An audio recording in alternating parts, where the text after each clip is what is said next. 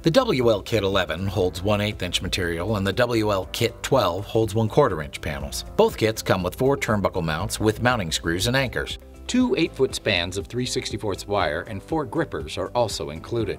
Additional grippers are available for purchase so more panels can be added. To find your mounting points, you'll first measure material horizontally, 9 inches in this example, and then add the distance between the wire slot and the back of the gripper's opening. This gap is half inch.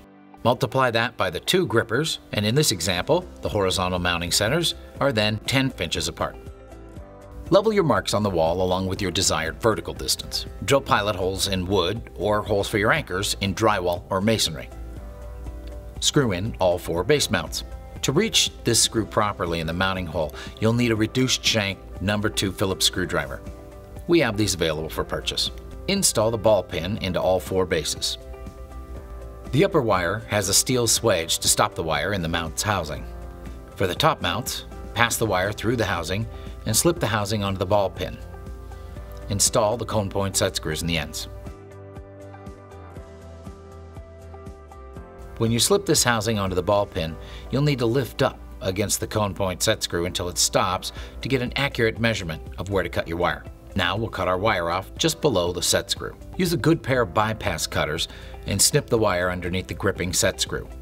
We have these available for sale if you don't have them. Back out the set screw to allow the wire into the hole. Tighten the set screw firmly.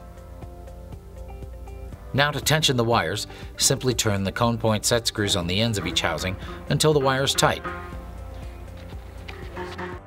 Fix the grippers loosely on the wire to start.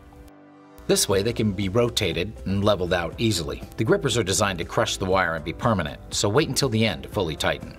You can attach grippers to your material first if it's convenient, but here we'll slide the panel in place, make final adjustments, and then tighten everything up.